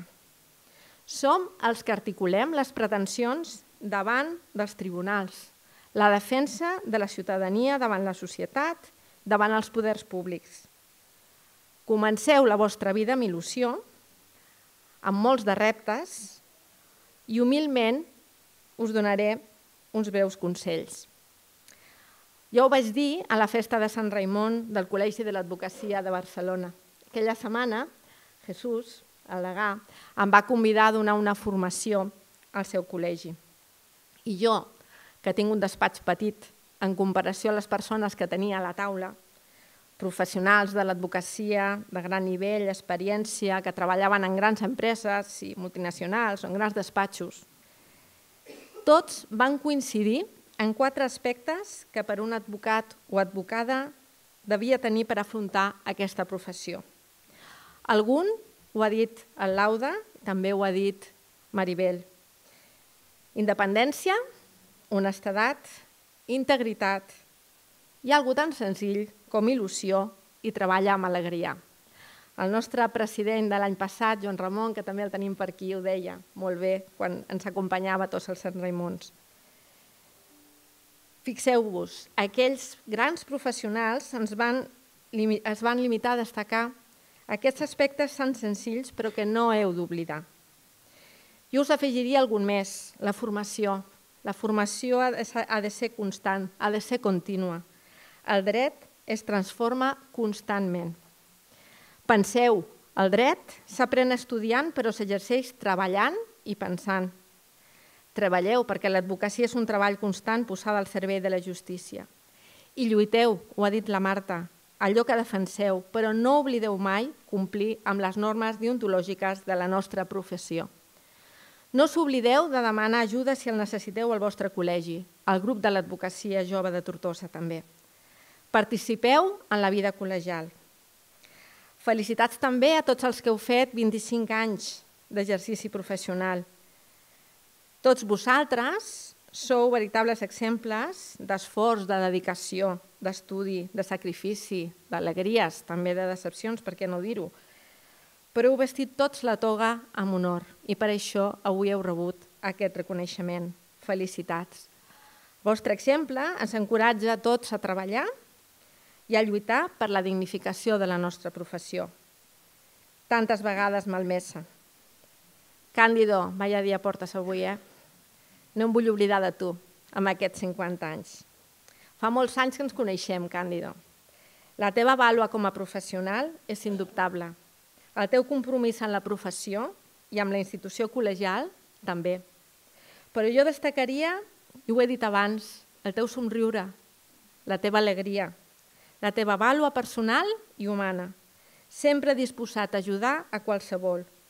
Una cara afable que sempre està allí quan se't necessita. Felicitats. No em vull oblidar tampoc de les famílies de tots vosaltres. Sou una part molt important de l'èxit de tots ells que avui celebrem i per això també us dono l'enhorabona. També vull tenir unes paraules per a la que està la consellera de Justícia i que avui ha rebut l'honor de ser col·legiada d'honor. Lourdes, ha estat un plaer treballar des del Consell amb vosaltres. L'advocacia s'ha sentit escoltada i això és molt important per nosaltres. Hem treballat colze a colze. Et dono les gràcies i no solament a tu, tu ho has dit al teu discurs, també al teu equip. El Quim, que el tenim aquí també, l'Eusebi, el Joan Ramon, moltes gràcies. Encertat reconeixement, felicitats. Deia que cal defensar la nostra professió i els nostres professionals. Jo us parlo com a presidenta del Consell de l'Advocacia Catalana, però avui us acompanyen i, ben, i estan aquí tots els deganes i degans dels col·legis d'advocats de Catalunya per participar amb vosaltres d'aquest acte. I no solament degans actuals, també degans emèrits, a banda dels de, degans emèrits de Tortosa, David Domènech, Pep Canicio, està el Jordi Alvareda, Joan Riera, Maria Vidal, Ignasi Puig, Joan Ramon Puig, Carles Macrac, Eva Ribó, Lídia Condal, no em vull oblidar de ningú. Eh? Aquest any complim al Consell 40 anys. 40 anys d'un Consell on tots els col·legis de Catalunya, ho dic en majúscules, sumem. Tots construïm i dissenyem junts el nostre futur. Jo vinc d'una terra de tradició castellera. Doncs bé, si parlem de castells, tots fem pinya. Com nosaltres diem, tots fem consell. I m'agrada dir-ho, jo sempre ho dic a tots els Sant Raimons, des de Barcelona fins a Vic, des de Figueres fins a Tortosa, des de Lleida fins a Sant Feliu de Llobregat, des de Tarragona fins a Sabadell, des de Terrassa fins a Girona, des de Granollers fins a Manresa i des de Mataró fins a Reus. A tots ens uneix l'objectiu de treballar per l'exercici de la nostra professió, per defensar-la, sense deixar de costat que cal estar a prop de la ciutadania, de les seves problemàtiques, participant activament en el projecte Reformes Normatives amb l'únic objectiu de defensar els drets i llibertats de les persones. Sé que molts companys i companyes es pregunten i per què serveix el Consell? Us invito a que entreu a la web del Consell o mireu les xarxes socials, Instagram, Twitter, Comprovareu què és el que fem i trobareu fets, perquè s'està treballant, i molt. Si feu la prova d'entrar a la pàgina web del Consell o a les nostres xarxes socials, veureu que treballem molt en formació. Webinars, curs de dret civil català, cursos habilitadors de mediació, d'estrangeria, de menors, contra la violència masclista. Fa uns dies, el 14 indrets, 14 col·legis, van participar en una sessió a Girona, en matèria penal, amb un èxit total o un webinar que vam celebrar la setmana passada sobre l'anàlisi del control de transparència en els contractes de Reddit Revolving. Vam obtenir el rànquing tercer, de tercer evento jurídic més sol·licitat. Foment de l'ús del català a l'àmbit de la justícia, tan necessari, ho hem dit avui, aquesta tarda. Que tothom pugui expressar-se en la seva llengua davant dels tribunals. Aquí s'està treballant una tasca conjuntament amb la Conselleria perquè les estadístiques i les xifres que anualment tenim, lamentablement, així ho demostren. Que ningú dubti de la defensa del català. Un exemple és el compendium.cat, impulsat des de la Comissió de Llengua del Consell de l'Educacia Catalana i en el que participen moltíssimes institucions. Us permetrà accedir amb nombrosos recursos i formularis jurídics i us permetrà tenir accés fàcil i agilitat en la redacció jurídica i incrementar la qualitat dels vostres escrits. Drets humans, webinars importantíssimes de la nostra tasca com a advocacia per, a la defensa dels drets humans. Properament, l'1 de juny, a Lleida, celebrarem el Premi Valors per visualitzar i premiar aquelles persones i institucions que han estat i són exemples a seguir per tirar endavant la nostra societat i defensar alhora els drets humans i la justícia. Hem treballat molt des de la Comissió de Violència Masclista en denunciar la ubicació de les víctimes a les nostres seus judicials, tan deficient. I gràcies a un informe que nosaltres vam impulsar i que vam presentar al Departament de Justícia i que vam presentar al TCJ, hem aconseguit que el Departament de Justícia recentment iniciï un pla d'acció per millorar-les. El protocol d'assistència lletrada immediata a les víctimes de violència, hem aconseguit que en dos anys, des de la modificació de la llei, aquesta assistència immediata a la víctima, des del moment que posa una denúncia a la comissaria dels Mossos o bé a la policia local, hagi passat en el territori català de llocs on pràcticament era nula a una mitjana del 72%. Vull destacar aquí la importància de la justícia de proximitat. La justícia ha de ser propera a la ciutadania i, en aquest cas, propera a la víctima. Ho defensarem sempre, davant institucions. Ja ho estem fent. No podem allunyar a la ciutadania, a les víctimes, perquè no denunciaran. El nostre territori és molt divers i hem de ser conscients de la realitat. Ja ho ha dit la Marta, les infraestructures, els transports. I això ho sabem l'advocacia. Bastaria un dia una guàrdia per veure in situ la situació de molts ciutadans i les mancances que hi ha. Estem coordinant el torn d'ofici, la justícia gratuïta, el SOC, el SOC penitenciari, els torns d'estrangeria, de menors. Tenim un departament de justícia nou, ens estem coneixent, Yolanda, però sí que mantenim moltíssimes reunions i estic convençuda i segura de que el treball conjunt, colze a colze, doncs ens ajudarà a millorar especialment tota la problemàtica que tenim amb els serveis de guàrdia molt tensionats per l'augment considerable d'assistències eh, i d'usuaris, sobretot en víctimes de violència masclista, infància i també les mancances als torns de menors, torns d'estrangeria. Segur que ho aconseguirem. Protocol de funcionament del canal per situacions de discriminació per raó de gènere l'acabem d'implantar. Noves tecnologies. Volem que els nostres advocats i advocades estiguin formats. Biblioteques oferint serveis de bases de dades Projectes internacionals de formació, Redacta, Projecte Little. Programa de mediació, Marta, no m'oblido. El projecte Immediació 2023. Creació de l'Observatori de l'Arbitratge. La CRAG, les incidències amb l'Administració de Justícia. I Maribel, quan has dit de la igualtat, de l'accés de les dones als càrrecs, doncs mira, acabem de, de prendre possessió quatre noves de ganes, aquí les tenim l'Antonieta, Carme, Esther i Maria. Fins en això som innovadors a Catalunya. Som el primer Consell Autonòmic d'Advocacia amb més dones que homes. Som nou dones i cinc homes.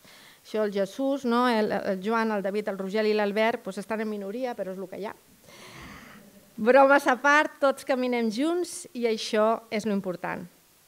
M'he deixat moltes coses i segur que em disculparan els meus companys de GANS, però és una, una petita mostra del que fem al Consell per a l'Advocacia Catalana i continuem treballant. Per això serveix l'advocacia institucional i en aquest cas el Consell.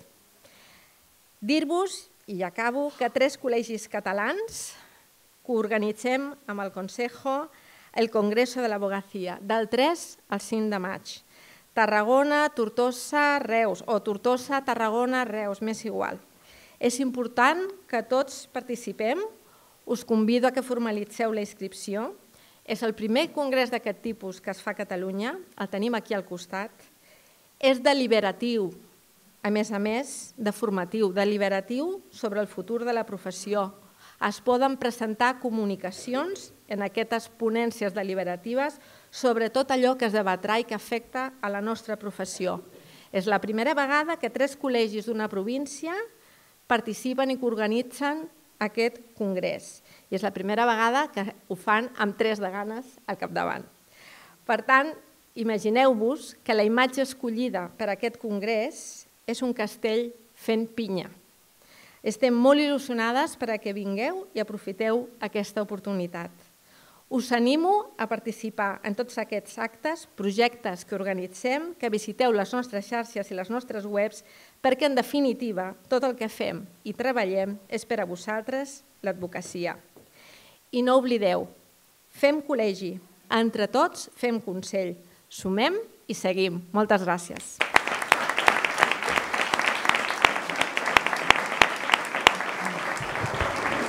Gràcies, Encarna és, un, és, és un goig treballar al teu costat, però mos fas anar de bòlit. Bé, eh, Premi Martí Miralles. Joan Martí Miralles va néixer l'any 1867, eh, del segle passat, un jurista mm, que va néixer a Santa Bàrbara, al Montsià, i que va ser bibliotecari del Col·legi de l'Advocacia de, de Barcelona. És el nostre premi des de l'any 2007 que donem este premi en honor a aquesta figura.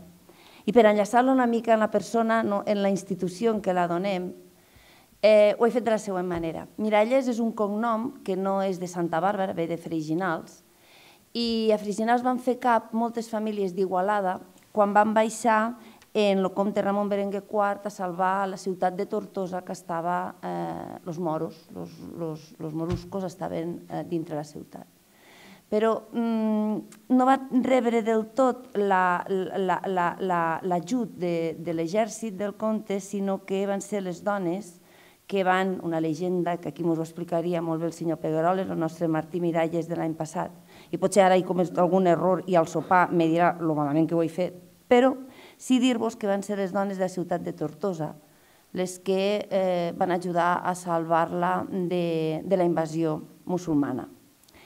I és així que a Tortosa, així ens ho diuen els llibres costums, s'adquiria la nacionalitat tortosina quan te casaves una dona, no quan te casaves en un home. La importància era, era des d'un prisma feminista, era, era força important. Bé, tot això ho he après al costat de persones que m'han ensenyat la cultura i el que hi havia, els costums de Tortosa. Aquí estem en un altre territori, tenim els costums d'Horta, però a baix estaven els costums de Tortosa, i de la gent que, que van preparar o que estan preparant els tres quarts de, de mil·lenni. I que amb, amb l'Àngels Massip, amb vostè, cònsol, dic de vostè avui, amb vostè, cònsol, eh, han pogut ficar, i jo estic molt orgullosa que ho hagueu, ho hagueu permès i que molta gent que està a la vora, Ferran Bel, mos ha, mos ha ajudat força, Tortosa dalt, damunt del mapa com li toca, no? com aquella ciutat eh, reconeguda de prestigi del nostre, del nostre territori. No només per la, seva, per la seva manera de ser o, o per la manera de la ciutat en si, que és preciosa, sinó per la seva gent i per la gent que la rodeixen. Tortosa mai havia estat oberta a les Terres de l'Ebre i ara sí, Tortosa per a nosaltres, jo que soc senienca del Montsià, és una de les capitals de les Terres de l'Ebre i penso que la més important, però és una visió eh, exclusivament meva. Dir que mm, donem aquell Premi Martí Miralles al Consolat del Mar, a la institució del Consolat del Mar, per a mi és una gran satisfacció. I que en aquest moment el Consolat del Mar estigui eh, capitanejat, eh, tingui la titularitat i l'empenta, com ara que estem també muntant el Congrés de Mediació del Consolat del Mar, siguis eh, tu, Jordi, eh, per a mi és una gran satisfacció, perquè mm, me permet donar-vos este premi per al nostre Consolat del Mar i recollir-lo juntament en tu perquè ens retrobem dos bons amics. I ara sí, el Premi Martí Miralles.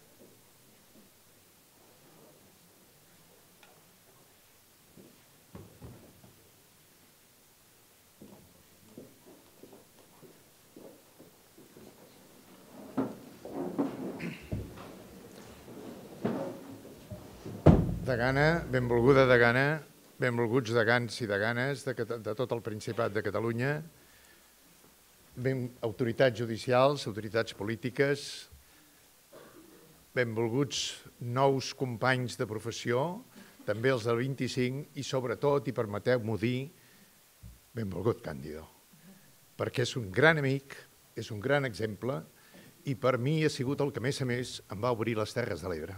Gràcies per tot això m'heu fet una mala jugada, perquè m'heu posat a l'últim i llavors tinc la síndrome de l'últim orador, amb la conseqüència quan el síndrome de l'últim orador, els que no sabeu encara el que és, és quan et toca parlar l'últim, i quan ja tothom ha dit el que havia de dir, i a més a més d'una manera brillant, d'una manera emotiva, d'una manera extraordinària, i llavors et queda tu l última paraula. I has de confiar en aquell punt últim, aquella coseta última, perquè tot el, el que tenies preparat ja ho ha dit un altre i llavors ets repetitiu i les senyories et diuen que mm, vaya usted eh, acelere letrado, acelere letrado. Per tant, és un moment delicat per la professió. Jo em trobo una mica en aquest, en aquest instant, en aquest moment. Per tant, me n'oblido de papers, me n'oblido d'històries i sí que vull donar-vos el meu profund agraïment en nom del Consolat de Mar, perquè al final no és la persona el que rep aquest, aquesta distinció, sinó és una institució de 750 anys, de la qual tots nosaltres ens n'hem d'enorgullir absolutament, i perquè, a més a més, a mi em produeix una gran satisfacció quan em vaig parlar amb alguns membres del Consolat, primer perquè és un premi que ve de l'advocacia, tu i jo som advocats, tots som advocats en aquesta sala pràcticament, la majoria, immensa majoria, també perquè ve de les Terres de l'Ebre, que he après a estimar moltíssim de la mà del Càndido i la Teresa, i de la mà de la, de la Marta, de la Isa, Castell, etc, i que realment eh, sempre m'ha honorat i sempre m'ha respost aquesta, eh, aquesta mm, voluntat de servir en aquesta terra quan he pogut. Abans ho comentàvem al Ferran Bel i sempre dic a les conferències o quan et surt el nom de les Terres de l'Ebre sempre tinc una frase preparada que és de dir Barcelona i Catalunya deu molt a les Terres de l'Ebre. Sempre està en deute i un dia hauríem de pagar aquest deute. No tan sols per les, per les carreteres i per tantes i tantes coses, sinó perquè moltes vegades no tenim la generositat que té les terres, la gent de les Terres de l'Ebre. Nosaltres els rebem amb els braços oberts a Barcelona sense adonar-nos que això és un acte de generositat i, esten, i fan idèntic sacrifici el que podríem fer nosaltres baixant a les Terres de l'Ebre. Tu saps que sempre estic disposat a baixar i sempre crec que Barcelona i Catalunya en general hauria d'estar disposat a donar la mà a les Terres de l'Ebre, perquè com aquí no hi ha lloc per estar-hi pel tipus de rebuda i pel tipus d'estima que sempre la gent de les Terres de l'Ebre t'acostuma a donar. Però deixeu-me dir, perquè el que rep el, el, el, el guardó és el Consolat de Mar. Jo ara m'agradaria fer una conferència de dues hores, ja em coneixes, però certament és impossible i per tant aquesta espelma s'apagaria, em trauríeu fora i no podria tornar mai més a les Terres de l'Ebre.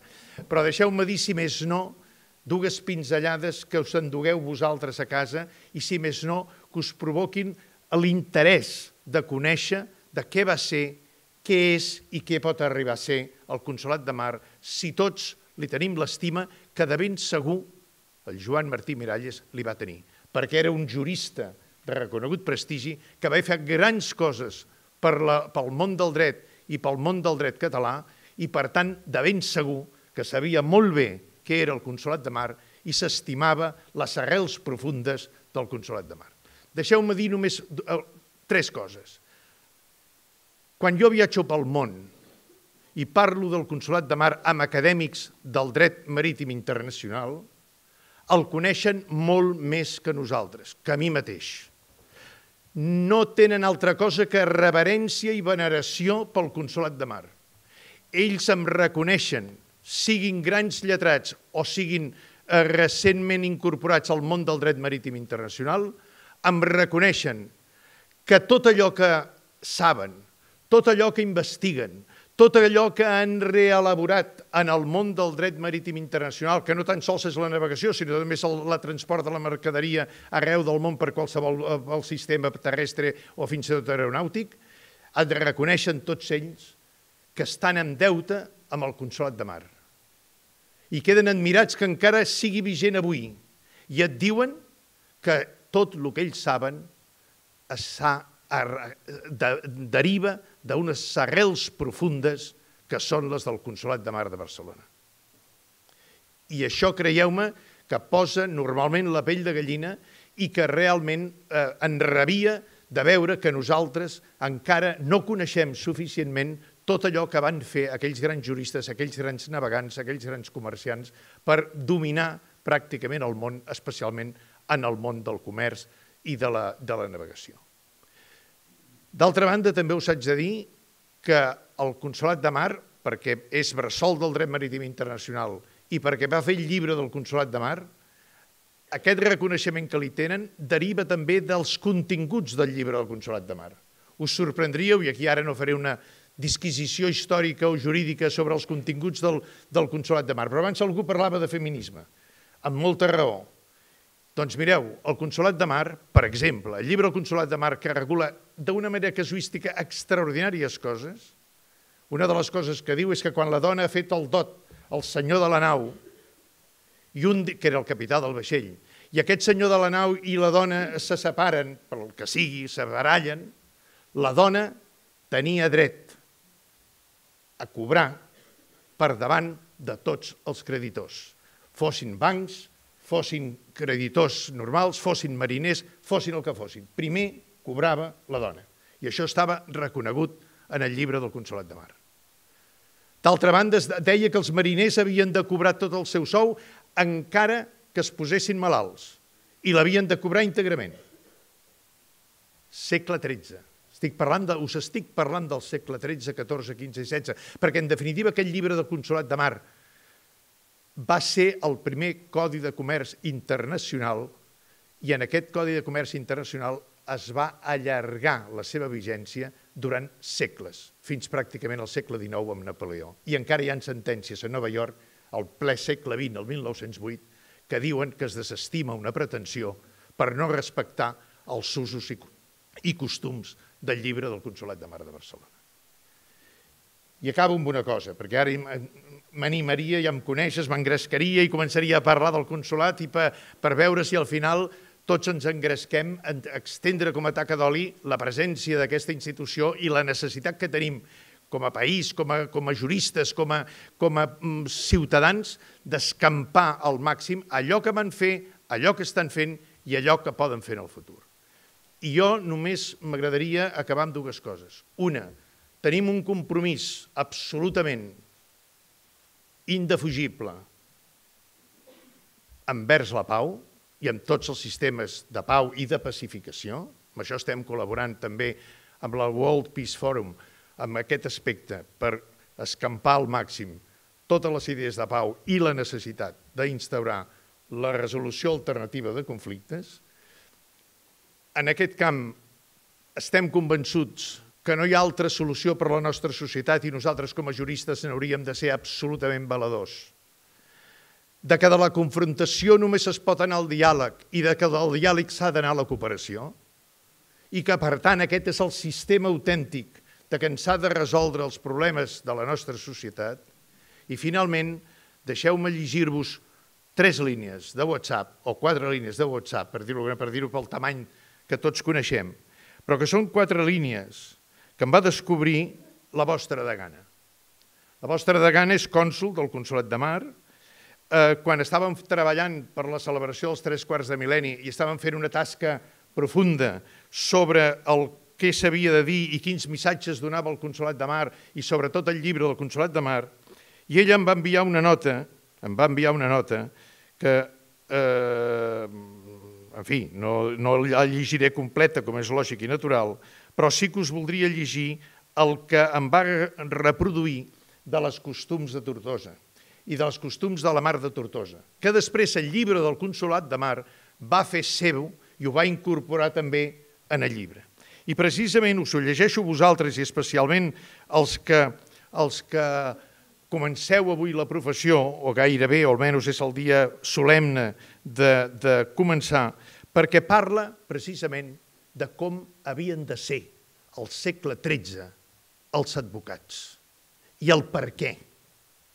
L'honorable consellera ja li vaig llegir un dia en el seu despatx, perquè crec que hauria de ser el frontispici de tots els nostres despatxos, de tots els tribunals de justícia, de la Procuradoria i de tots els que ens dediquem al món del dret i de la justícia. Diu així, recordeu, per favor, segle XIII versus segle XXI. Avui, aquell dia, al segle XIII, el llibre del Consolat de Mar deia el següent.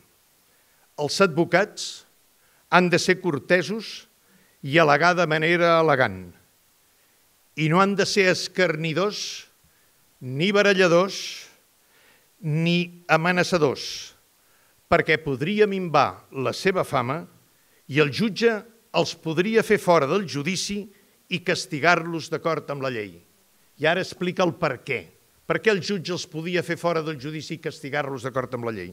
I deia, per tal com en judici, tothom ha d'estar assegurat i el seu dret ha de ser atès i no amenaçat, ni escarnit, ni ser objecte de befa, ja que per tals coses algú perd el seu dret i es desconcerta i per por no demana allò a què té dret, la qual cosa és contra Déu i contra els homes. Moltes gràcies.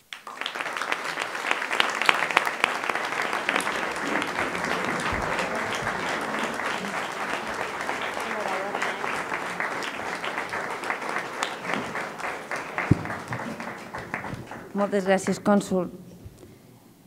I ja per acabar, tot i que jo faré al final una, una petita cosa molt menudeta, eh, passo la paraula a la senyora Yolanda Aguilar.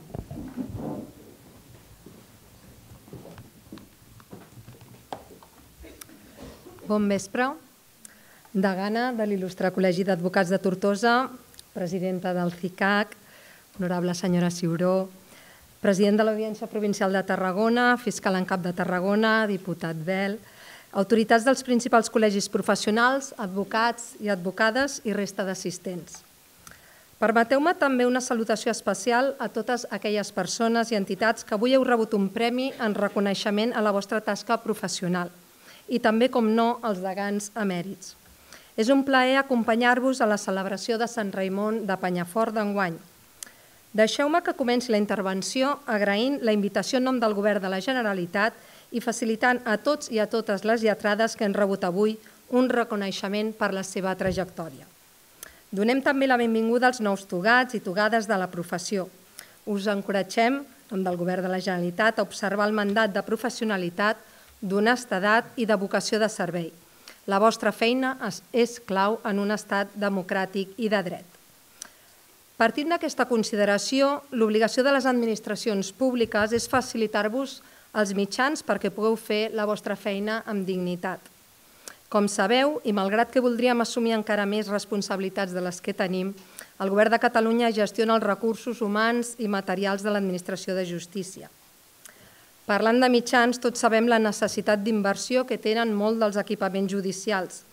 Aquest any, 2023, destinarem uns 50 milions d'euros a inversions per l'exercici en curs, quasi el doble de l'any anterior. Vosaltres, qui millor que ningú, sabeu que alguns edificis judicials estan en una situació molt millorable i calen reformes urgents. Actuarem en aquest sentit en partits judicials prioritaris. Pel que fa a l'àmbit de les Terres de l'Ebre, a finals d'any iniciarem les obres de rehabilitació de l'edifici judicial històric de Tortosa amb un reforç estructural, recorreguts diferenciats de la víctima i el detingut, renovació de garjoles, espais d'atenció a la víctima, renovació de les instal·lacions del sistema de clima i creació d'un office, una inversió total de 3, milions d'euros. També en col·laboració amb l'Ajuntament de Tortosa s'estan condicionant els espais dels serveis de patologia forense. Intervindrem també a la seu d'Amposta amb la distribució de la sala de testimonis i també millores en els espais de Gandesa, com és l'habilitació d'una sala de víctimes. També destacar la futura construcció del Fòrum de la Justícia de Tarragona, que ja han començat a treballar amb l'actualització del projecte funcional, li van presentar l'altre dia al president Pere Arnau, amb la finalitat de que a finals d'any es puguin ja licitar les obres amb una inversió ja compromesa en el pla d'encàrrec d'actuacions de 70 milions d'euros. Estic convençuda que aquestes inversions contribuiran a la millora de l'administració de justícia i faran més fàcil també la vostra feina. No volia acabar sense fer esment a una de les grans tasques que realitzeu als col·legis d'advocats i advocades, la justícia gratuïta. Tinc el ferm convenciment que el Servei Públic de Justícia pot esdevenir un motor de reducció de les desigualtats. La justícia pot i ha de remoure els obstacles d'accés de la ciutadania a drets civils, polítics, socials i culturals. I el paper que feu, advocats i advocades del torn d'ofici, és, per tant, fonamental en termes de cohesió social. I no sempre es reconeix com es mereixeria. Perquè fa la part que ens toca al departament, enguany hem augmentat un 2,5 l'import econòmic dels mòduls per la prestació del servei de justícia gratuïta enfilant-se fins a un total de 73 milions d'euros. Amb aquests recursos dignifiquem una mica més les condicions de treball dels i les professionals, que recuperaran el poder adquisitiu que havien perdut amb les retallades d'exercicis anteriors. Soc coneixedora de les moltes de les demandes dels col·legis d'advocats i advocades en relació especialment a les assistències a les víctimes de violència contra la dona i les violències masclistes, per tal que siguin compensades també quan són inactives. Des del Departament, tal i com ens van comprometre amb la presidenta del CICAC, estem fent una revisió per eficientar els torns de guàrdia i assistències en aquest àmbit i valorar-ne l'adequada compensació. Soc molt conscient que encara podem fer molt i més i treballarem perquè així sigui. Com he dit abans, la responsabilitat des del Departament és també facilitar-vos la feina. Us encoratjo, doncs, a seguir col·laborant amb el govern del país per afrontar els grans reptes que té per davant l'administració de justícia pensant sempre en el servei a les persones. I per acabar, reitero els agraïments i les felicitacions a les trajectòries brillants que s'han reconegut avui i tota l'empenta i els ànims als nous vinguts a la professió. Un plaer haver-nos acompanyat en aquest dia en nom del Govern de la Generalitat i especialment del Departament de Justícia, Drets i Memòria. Moltes gràcies i bon vespre.